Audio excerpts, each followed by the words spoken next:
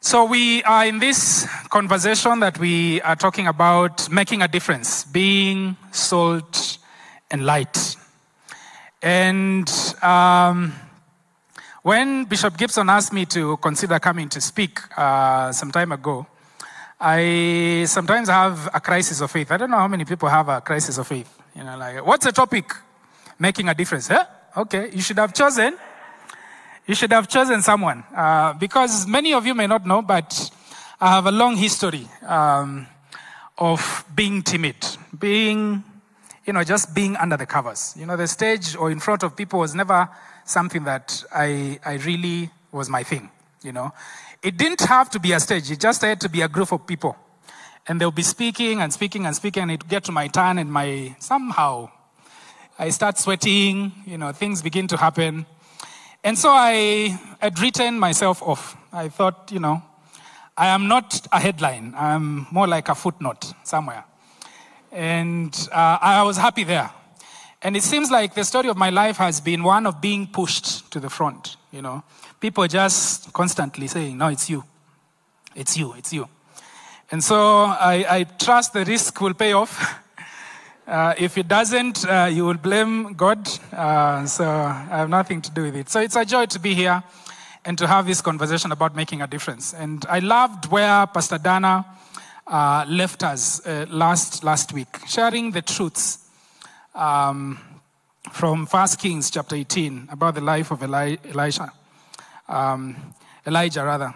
That, number one, she shared that being salt and light means prioritizing our physical and mental health that, you know, as we see this servant of God burning out and being reminded, you know, uh, we need to prioritize that. She also shared that it means being willing to be real with God and to say where we are at exactly. You know, a lot of times I feel like we relate with the world as an avatar, you know, there's this image that we carry out. But beneath that is, you know, all manner of struggles and sometimes when we are honest and candid with God, He's able to tell us uh, what the next step is. And then she finalized on saying that it means a willingness to obey God and when, when we sense his, his direction. And so today we want to continue with that uh, conversation by uncovering uh, just four key points of awareness. You know, in many ways, I felt like uh, you will come and witness me talking to myself because a lot of these points, I was like, oh, okay, that's something that I'm learning, even in my journey at, um, at Mombasa um, Gateway ICC. And so the first thing I'd like us to do is just to examine, you know, the song that we sang here. You know, this is holy, holy ground, holy ground. And as you think about how uh, Moses is invited into a holy ground, and our key reading comes from Exodus chapter 3, verse 10 to 12. um, the context of this is that, you know, um, Moses wants to make a difference. He sees the oppression uh, of his fellow countrymen, the, the, the Jews. And he wants to make a difference, but the way he wants to make that difference is not from a very informed place. So he uses force. And so God sends him off into the desert in Midian for the longest internship ever. You know, we are being announced for here that uh, Cultivate takes one year. Moses took an internship, lasted 40 years as an intern under Jethro's care. And towards the end of his internship, he comes to this mountain of God, Mount Horeb or Mount Sinai, and he sees a burning bush. And God tells him, you know, um, out of curiosity, he draws near and he tells him, now don't come any further, remove your shoes for the place that you're standing is holy ground. So we catch up with him in uh, Exodus chapter 3, verse 10. He says, God says to him, Come, I will send you to Pharaoh, that you may bring my people, the children of Israel, out of Egypt. But Moses said to God, and this is something so familiar Who am I that I should go to Pharaoh and bring the children of Israel out of Egypt? He said, But I will be with you and this shall be a sign to, for you that I have sent you. When you have brought the people out of Egypt, you shall serve God in this mountain.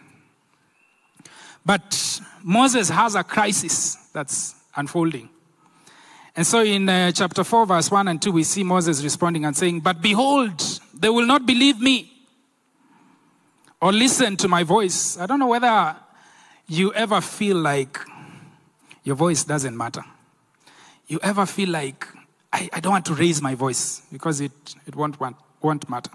We see this crisis of faith unfolding in Moses' life. He says, They will not believe me or listen to my voice. For they will say, The Lord did not appear to you. Then the Lord said to him, What is in your hand? And he said, A staff. A staff. Again, we catch up with him in Exodus chapter 4, verse 10 and 12. A pile of excuses and stories that are unfolding. But Moses said to the Lord, Oh, my Lord, I am not eloquent, either in the past or since you have spoken to your servant. But I am slow of speech and tongue. I wonder how long it took for him to get these words out. but uh, it sounds pretty eloquent to me. Yeah? then, verse 11, he says, Then the Lord said to him, Who has made the man's mouth? Who makes him mute or deaf, seeing or blind? Is it not I, the Lord? So we see this crisis unfolding. Yeah? And I think the first point of awareness for us to examine if we are going to be the people that will be the salt and light, the people that will make a difference in the marketplace, the people that will make a difference at home, in the, in the government, or whatever space that God has called you to be.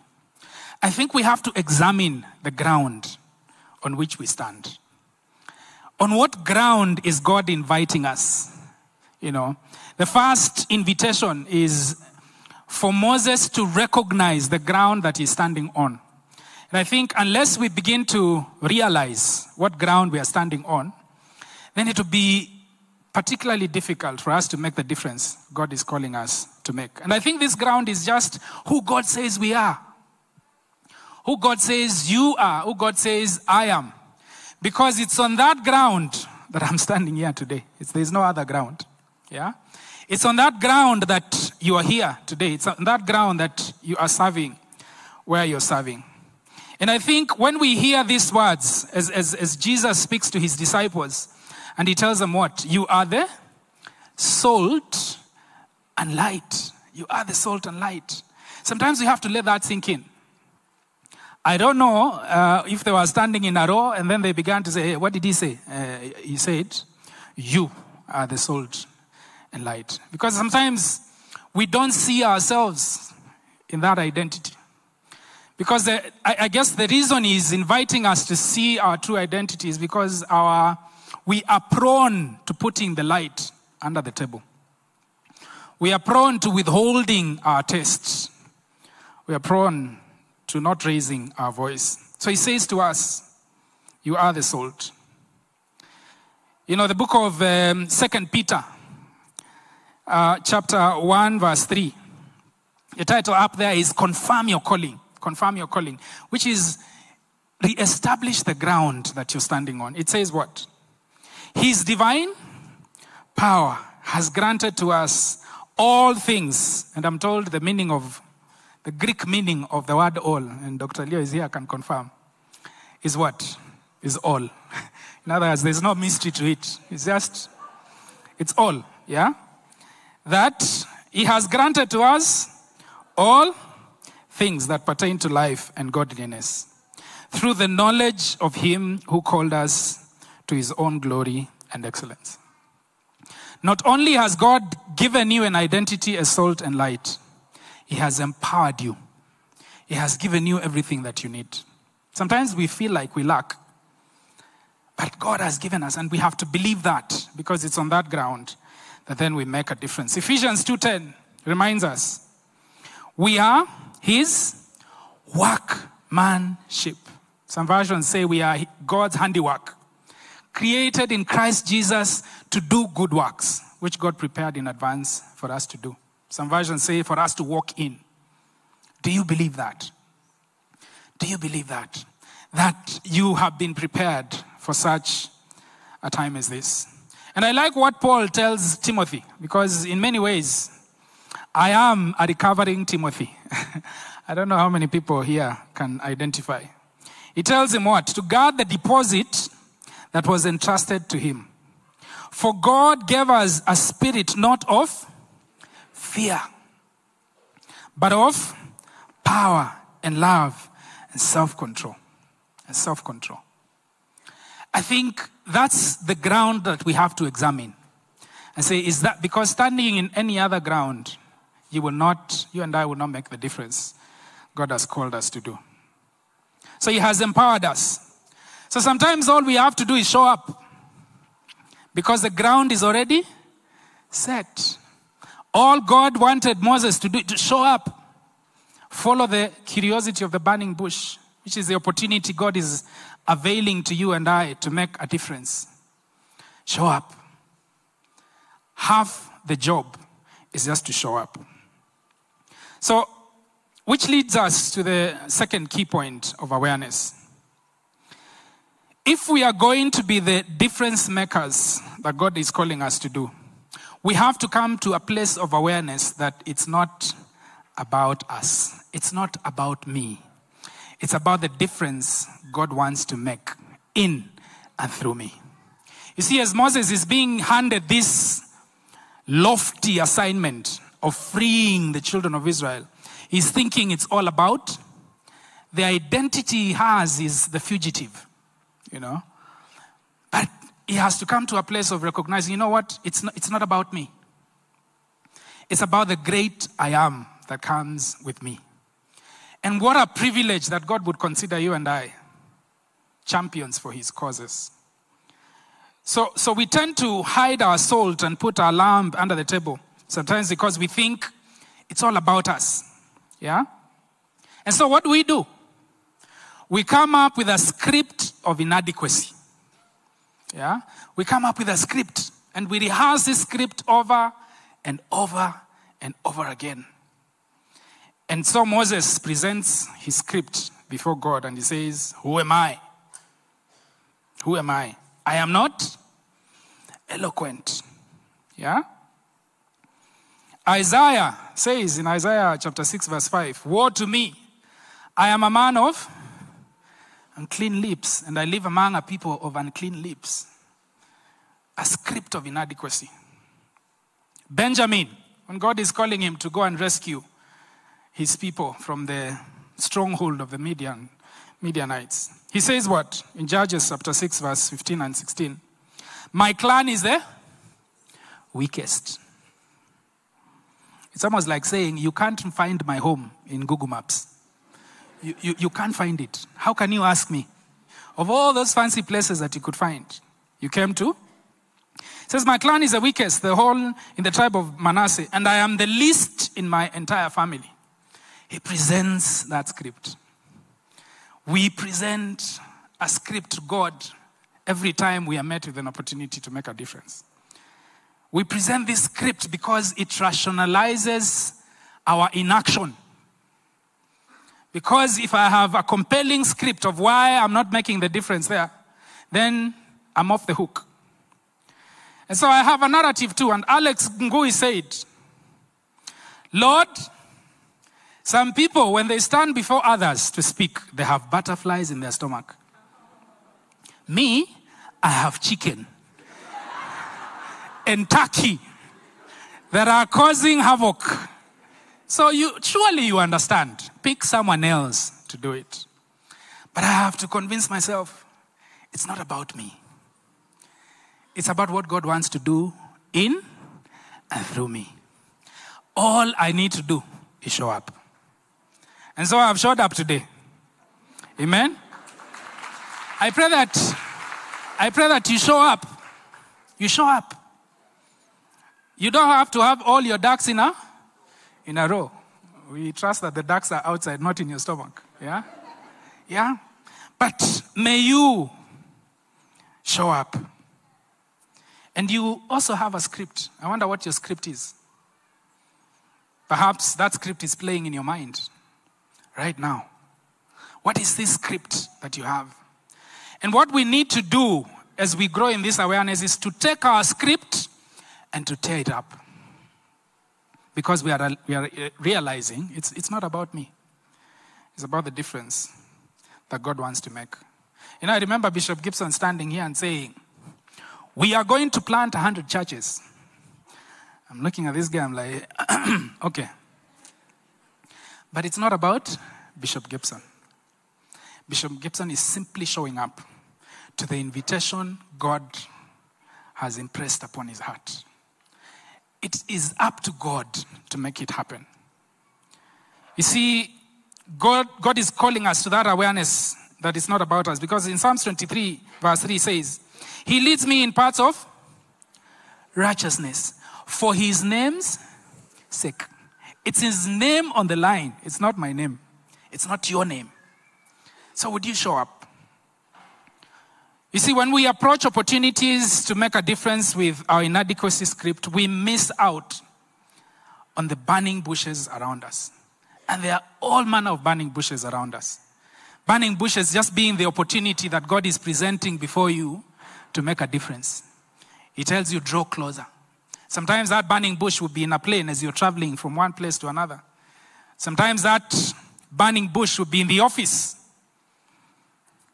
Sometimes that burning bush is in, on the kitchen table. An opportunity to lean in. And so when we know it's not about us, we show up and we let God to do the work. You see, the burning bush was not a one time occurrence. There are burning bushes everywhere. And this leads us to the second point, the third point, rather. You see, where does Moses witness this burning bush? It's in a remote place. Yeah? Unsearchable in, in Google Maps.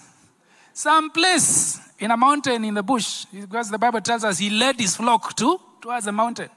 Yeah? So far away that they can't even find him when they're bringing lunch to him.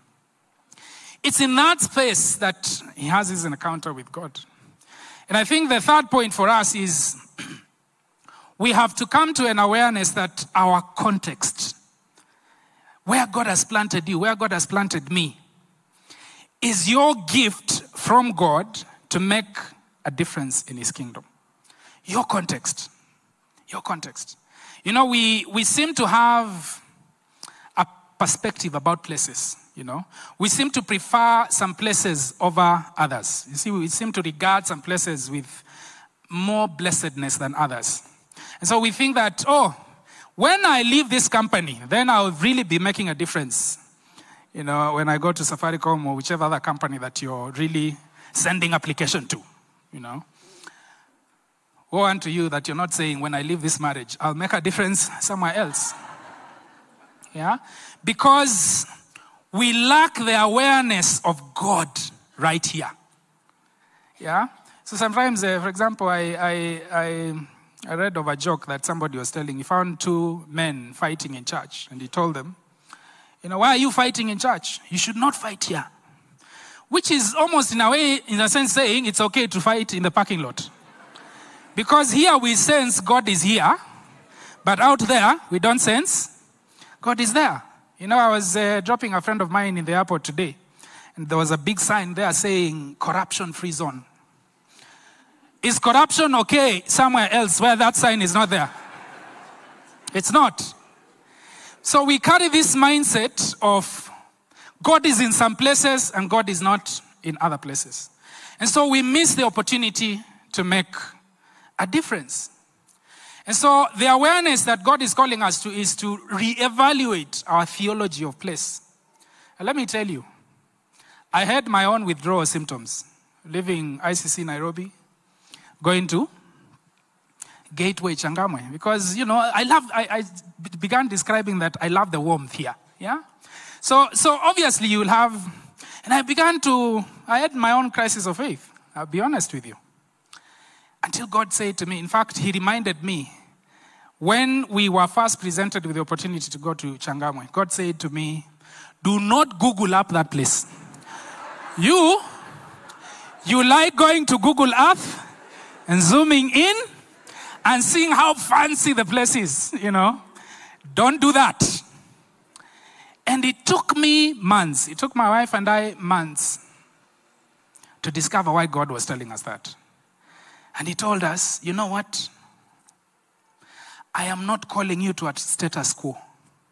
I am calling you for what I want, I dream of that place to be.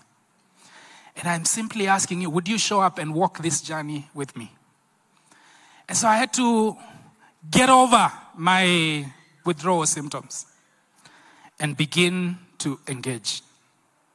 So we tend to want to be associated with some, some places. And we tend to lose the alertness to make a difference in the spaces that God has invited us. In the Bible, we see God working out his purposes in the most unexpected places. You would think, you know. You know, I imagine when the disciples in Matthew chapter 14, verse 13, when they, him and, the, and Jesus and his disciples retreat to a remote place, and a whole crowd follows them. The disciples allow the remoteness of the place to attack their faith of what was possible there. And Jesus tells them, No, no, no, no, don't send them away. You, you feed them. Because we don't see it happening there. Nathanael said, What? Can anything good come from Nazareth? You know, let me tell you, I, I once lived, after college, I once lived in uh, Githurai 44.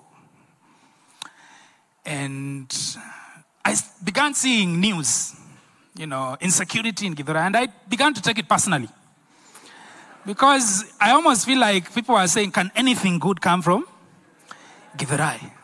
It's a beautiful place. You know, I'm learning that uh, the name Changamwe means a place of feeble soil. For those of us who have been to Mombasa City, maybe you witnessed on the bypass after SGR, there's a place where the road just caved in because the nature of the soil is, is feeble. Yeah? And I asked myself, why did I come to a place of feeble soil? Can anything good come from? But God told me, This is the ground I am choosing to grow my disciples. And all I want you is to show up. So, can we reevaluate our theology of place? Jacob, when he's journeying from Beersheba, you know, he's walking through this ordinary place, and it's actually it says he came to a certain place. Yeah?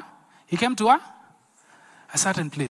We used to have a friend, uh, whenever after work, we would drop people uh, off to their homes. Eh? You know, doing campus ministry. And I had this friend of mine who the cab driver is constantly asking, okay, what is the name of your stage? Uh, don't worry. When we get there, I'll tell you. And then out of nowhere, he say, hapo, hapo, hapo, hapo, hapo. You know, just a certain place. Yeah? It's a certain place. So I feel like in the description here, uh, Jacob is giving, is it's a certain place. And so he picks a stone and uses, uses it as a, as a pillow. Who does that? Yeah? And then as he snores, he has this dream of a gateway, a, a grand staircase, and God is standing on the top of it.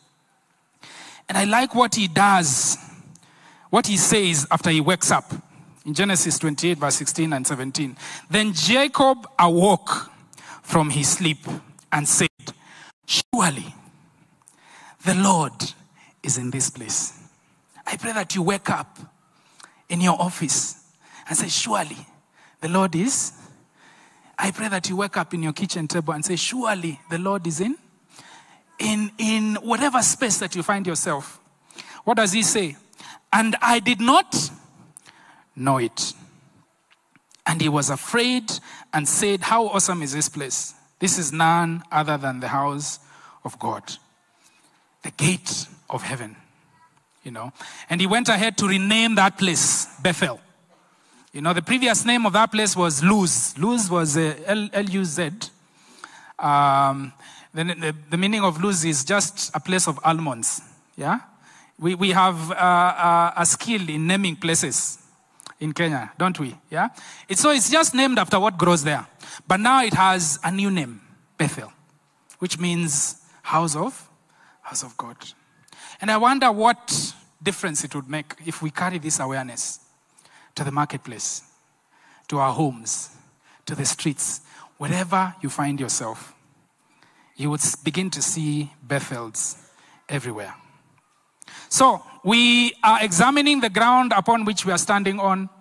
We are seeing um, how our context is a gift when we realize what God is doing in that space. But we may be saying, I'm now seeing my office, my time in traffic, my time at home as a Bethel.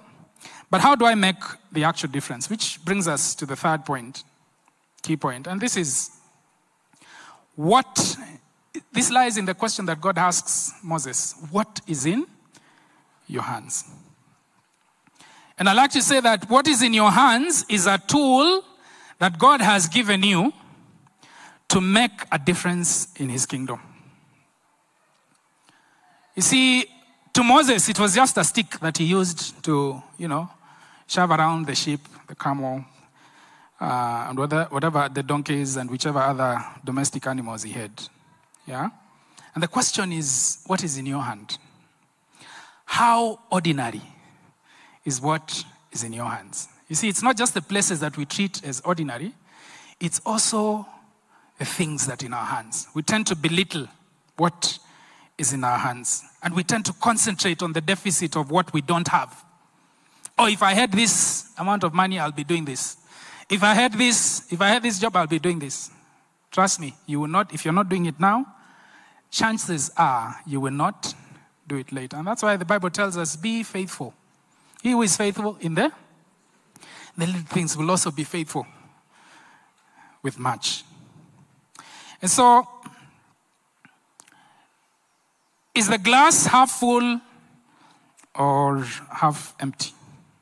Is it just two loaves and five fish or excess lunch for a multitude? Is it just a cloud the size of a fist, like the servant who the prophet sends to look out seven times? Is it just or is it a storm that is brewing? Is it just a little oil in a jar, or it's an endless trickle of supply? And I guess that's the question that we all have to ask ourselves. So Moses lets go of his staff and God's command, on God's command, and discovers what God could do with it. The widow of Zarephath surrenders her last meal with her child and never lacks. A little boy gives away his lunch, whatever is in his hands, and it feeds thousands. Unfortunately, the unfaithful servant in Matthew chapter 25, 14 and 30 withholds. Withholds.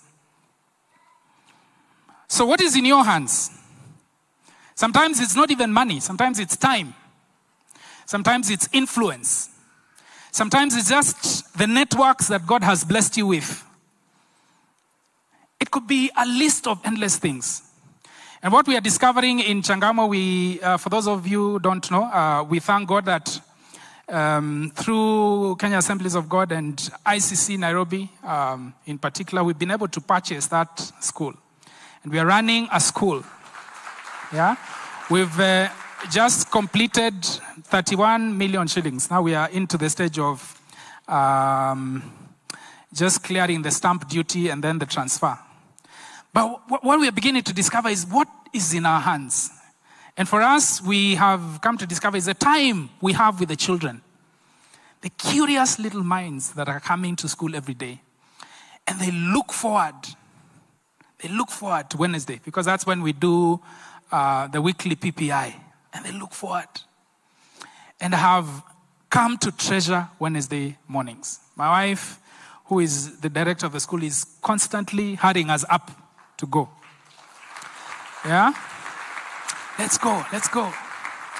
And you should see how they light up. And we thank God uh, through um, our connection with the missionary, through ICC again, we were able to set up um, a computer lab where the kids every afternoon they have a lesson in computer and they, you should see how they light up. And the joy for us is to treasure what is in our hands destinies that has been shaped. So, what is, what is in your hands? What is in your hands? So, that leads us to the final point, and this is where I want to really land. You see, we could reevaluate the ground that we are standing on.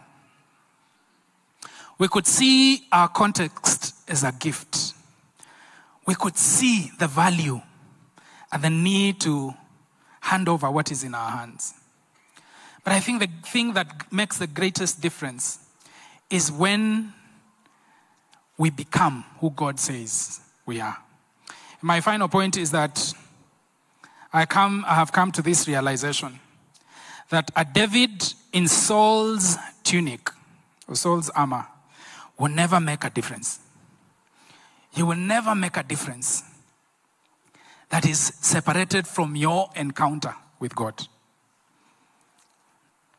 You will never make a difference. We see the story of David and the stalemate, the battle stalemate that is there. The children of Israel are stuck. And there's this giant Philistine who is daring them to come. And the lunch boy, David, comes and says, Hey, what's, what's happening? You know? And he's told, Yeah, yeah, yeah, yeah, yeah, yeah. Okay. And he volunteers. Yeah? And I'm sure the people there were saying, Okay, you want to volunteer? Okay, it's your funeral. Go ahead. And all these soldiers, you, you want to? And he volunteers for his funeral. And what does Saul do? in verse 17 of 1 Samuel, I mean, verse 36, 38 rather, of 1 Samuel 17, it says, Then Saul clothed David with his armor. Maybe it has a special anointing. It is the armor of the, the king. Yeah. Maybe Bishop Gibson is giving me his armor. Yeah. Because it has that anointing.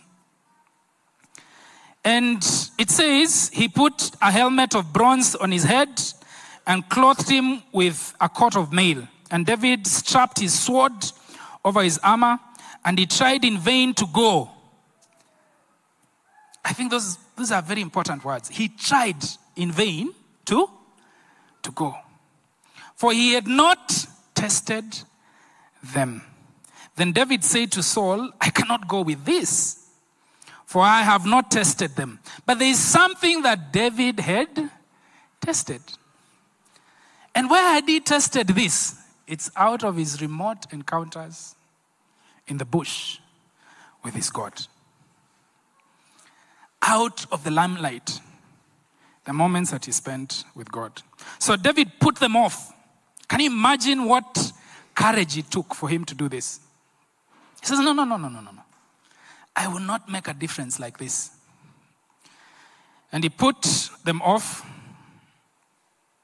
Then he took his staff in his hand and chose five smooth stones from the brook and put them in his shepherd's pouch.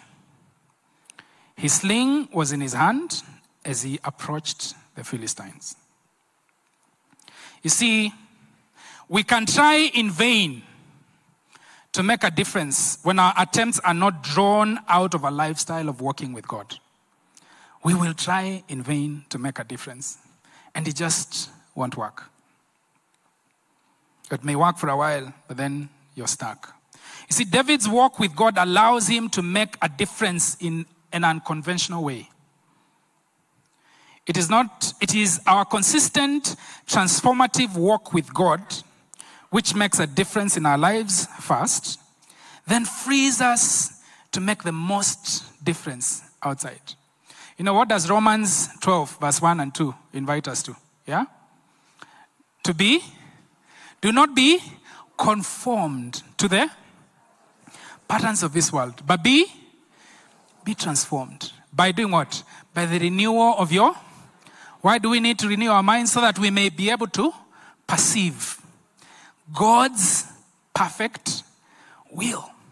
And when you do an examination of these two keywords, conforming and transforming, conforming is about allowing the external force to change you. You go into a space, it's that workplace, it's that place that is written corruption free zone, but there is corruption. And so you conform to the shape of the culture that is there. It's more like being a thermometer. What does a thermometer do? It simply reads the temperature, but does nothing about about the temperature. You know, it's like being a chameleon. What's the true color of a chameleon? It is whatever color that happens too. And I feel like a lot of times as Christians, we can be like chameleons if we are conformed to the patterns, you know. We are conformed to the patterns. But the invitation that we are given is to be transformed. And what is being transformed? It is being changed from the inside out so that the change is coming from within, a place of being changed, and it's spilling outward, countering the forces of conformity. It's more like being a thermostat. A thermostat does what? It doesn't just read the temperature, it controls the temperature. And that's why I think we have been invited to be salt. We are not just to shrink to whatever shape culture takes. We are to, and I think when we are transformed, then whatever environment that we are in takes the color of who we are on the inside and not the other way, not the other way around. I pray that as you show up in that office, it will begin to show the color. I pray that when I come here, I feel the color of Bishop Gibson and his pastoral team. I feel it. I pray that I will also be able to transfer it where? In Changamwe. I pray that in that office, you know, I, I, I read something somewhere. You know, sometimes job, we change jobs a lot, right? You know, you move on to another job. But while you are where you are, you know, I, I read somewhere that, you know, people can leave your leadership, but people can never leave your influence. That if you leave a lasting influence on people by the color you bring, then you are making a difference. So I'd like us just to call us to a place of reflection, a place of asking ourselves, you know, what ground am I standing on? You see, just like David allows his private encounters with God to transform his environment, God is inviting us to a deep walk with him that then allows us to paint the world in the color of who we are on the inside. You see, I find that it is Moses' staff that makes the greatest difference. It is not Pharaoh's chariots that make the difference. They sink in the in the sea, but it is the, the tool, the authentic tool that God has given to you. And a shepherd, um, a, a, a staff is a symbol of God's leadership over our lives.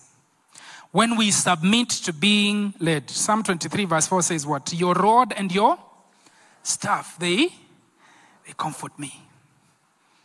So I'd like us just to bow down and to go before God and to really I don't know where you are. Maybe for you, you're standing on shaky ground. You've doubted your identity. And God says to you, You are the salt and light in that space. Maybe you just need to hear God tell you, Yes, you are. And you respond and say, Yes. Maybe for you, you just needed to learn that it's not about you, but it's about the difference that God is calling you to make would you make a commitment to show up? Maybe you've had a wrong theology of the place that God has planted you in. You're always thinking of exit, exit, exit, but not opening your eyes to how that context is a gift. May open your eyes. Maybe for you, it's realizing what he has put in your hands. And instead of withholding, giving it out. And lastly, maybe you have been walking around in the wrong armor, living off the faith of other people, but not having a direct experience with your God. that then allows you to be authentic in the space that God has planted you. And I think that journey begins when we give our lives to God. Maybe you're here and you're saying, That's, that's where I am. I want to give my life to Him. I want my spaces to be painted with the color of who God is making me on the inside. Are you there? Would you just raise your hand if you're there? Or if you're watching us online, just indicate that. I'd like to give my life to Christ. And we'll pray together with you. In the overflow, if you're there, just, just raise your hand. And we'll pray together. Maybe it's just time to shed off that avatar, that thing that shows the sense of I have it all together. But then inside, it could be empty. And I believe if you're there, just, just pray this prayer with me. Lord Jesus, I come to you. Strip me of anything that is not of you. Let me walk in my authentic experience of you. Save me, Lord. Make me your child. Make a difference in and through me. Lord, I just thank you for those that have prayed that prayer, whether they're watching us online, whether they're here in our audience in the overflow. You see their hearts. I pray that, Lord, you may walk, begin to walk with them a journey of transformation. I pray that, Lord, we would hear testimonies of the difference that they are making in the spaces that you've called them to be. We honor you, Lord. And for the rest of us, Lord, in whatever area that, Lord, you're touching and starting our hearts, examination of our ground, discovery of what is in our hands, the gift that our context is. Lord, I pray that we will walk out of here and shine your light on those places. We bless you and we honor you. In Jesus' mighty name we pray. Amen. Amen. Amen. So, um, just before I leave, is I wish you this. May you tear up your inadequacy script. Let's go and write those things that you give as excuses and just tear it up. Don't throw it in the dustbin. You might go after it and garnish it. Just burn it up. May you unwrap the gift that your context is. Amen. May you be awakened to the tools God has placed in your hands. And may your intimate walk be the source of your difference. Amen.